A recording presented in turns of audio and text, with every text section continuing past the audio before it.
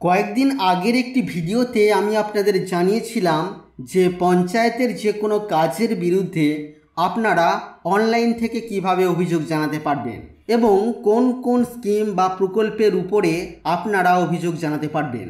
আজকের এই ভিডিওতে এই অভিযোগ জানানো নিয়ে আপনাদের বেশ কিছু গুরুত্বপূর্ণ প্রশ্নের উত্তর আমরা জেনে নেব। অনুরোধ রাখব, ভিডিওটি অবশ্যই প্রথম থেকে শেষ পর্যন্ত দেখবেন। নমস্কার, আপনারা দেখছেন মাল্টি গাইড চ্যানেল। আপনাদের সাথে আমি আছি বিশ্বজিৎ। প্রথমে আমরা জানব যে আমি কীভাবে জানব যে আমার অভিযোগ সিস্টেমে নিশ্চিতভাবে নথিভুক্ত হয়েছে। তো সেটা জানার জন্য আপনারা স্ট্যাটাস চেক করতে পারেন। এখানে বলা হচ্ছে, অভিযোগ নথিভুক্ত হলেই এস এম এস কনফার্মেশন পাওয়া যাবে। আবেদনপত্রে লগ ইন করেও গ্রিভেন্স স্ট্যাটাস আপনারা চেক করতে পারবেন। আরেকটি প্রশ্ন এবং উত্তর এখানে হলো, অভিযোগ ফর্ম পূরণ করা শেষ হয়ে গেলে কি আমাকে পূরণ করা ফর্মের কোনো হার্ড কপি সংরক্ষণ করতে হবে? প্রশ্নের উত্তরে এখানে বলা হচ্ছে না, আপনি যে কোনো সময় অ্যাপ্লিকেশনে লগ করতে পারেন এবং আপনার অভিযোগের বিশদটি ব্রাউজ করে দেখতে পারেন। আরেকটি প্রশ্ন হলো এখানে, আমার অভিযোগের সমাধান হয়েছে কিনা তা কীভাবে জানতে পারব? উত্তরে বলা হচ্ছে, আপনার রেজিস্টার্ড মোবাইল নাম্বারে এস এবং রেজিস্টার্ড ইমেলে ইমেল আইডিতে আপনারা ইমেল পেয়ে যাবেন। এছাড়াও, বর্তমান স্ট্যাটাস আপডেটের জন্য যে কোনো সময় পোর্টালে আপনারা লগ করতে পারবেন। আরেকটি প্রশ্ন এখানে বলা হচ্ছে, আমি কি অন্য কারোর পক্ষের হয়ে অভিযোগ জানাতে পারি?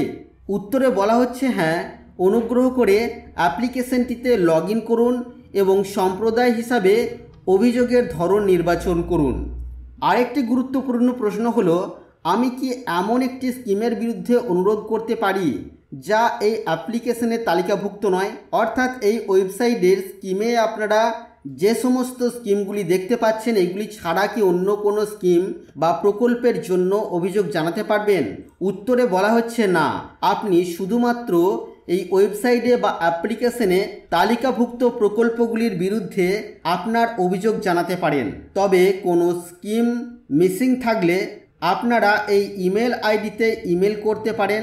আমাদের নীতি প্রশাসকরা পর্যালোচনা করে প্রয়োজনীয় ব্যবস্থা নেবেন। আরেকটি গুরুত্বপূর্ণ প্রশ্ন এখানে বলা হয়েছে যে, আমার অভিযোগের স্ট্যাটাস আন্ডার প্রসেস দেখাচ্ছে, আমার অভিযোগের সমাধানের জন্য কোনো ব্যবস্থা নেওয়া হচ্ছে কি না সে বিষয়ে কীভাবে আরও তথ্য পেতে পারি?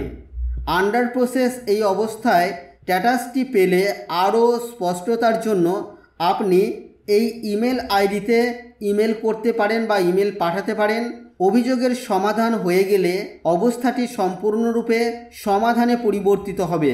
কি ব্যবস্থা নেওয়া হয়েছে? তা জানতে আপনি অনলাইনে অভিযোগের বিবরণ দেখতে পারেন। আরেকটি গুরুত্বপূর্ণ প্রশ্ন এখানে বলা হয়েছে, আমার অভিযোগের স্ট্যাটাস অসম্পূর্ণ তথ্য দেখাচ্ছে। এর অর্থ কি? এবং এরপরে আমার কি করা উচিত? উত্তরে বলা হচ্ছে, যদি আপনার অভিযোগের অবস্থা অসম্পূর্ণ তথ্য হিসাবে চিহ্নিত করা হয়, তাহলে আপনাকে অ্যাপ্লিকেশনটিতে লগ করতে হবে এবং মন্তব্য বিভাগটিতে পরীক্ষা করতে হবে। দয়া করে কর্মকর্তাদের দেওয়া মন্তব্য পর্যালোচনা করুন।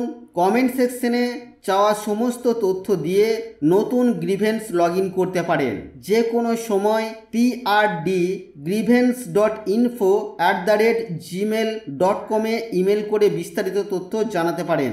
আরেকটি গুরুত্বপূর্ণ প্রশ্ন এখানে বলা হয়েছে, আমার অভিযোগের স্ট্যাটাস দেখাচ্ছে, সম্পূর্ণভাবে সমাধান হয়েছে।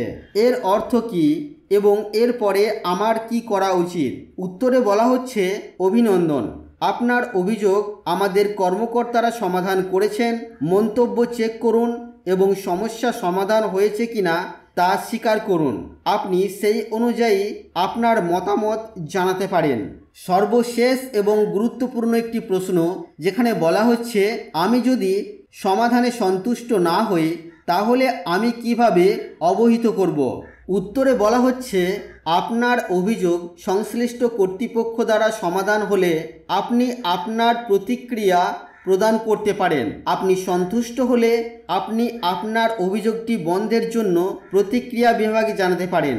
আপনি সন্তুষ্ট না হলে আপনার প্রতিক্রিয়া বিভাগে বিষয়টি উল্লেখ করুন।